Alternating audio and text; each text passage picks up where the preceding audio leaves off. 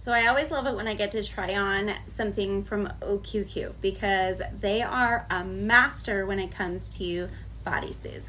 Whether it's just like your top bodysuits or a whole body bodysuit, um, long sleeve, short sleeve, sleeveless, um, halter top, like you cannot go wrong with any of their bodysuits.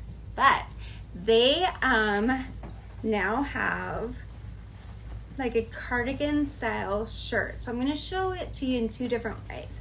So this is actually one of their ribbed textured bodysuits.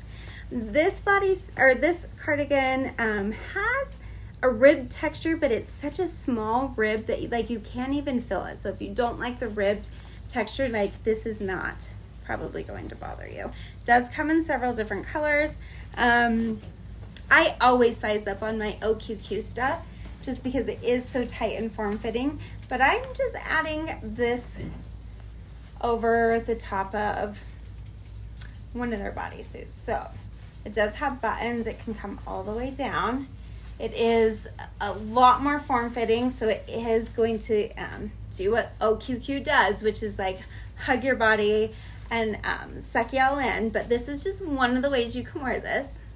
The other way to wear this is as if it is a shirt itself. So it does everything that the bodysuits do, sucks you in, does everything that you want it to do. You got plenty of room on your sleeves.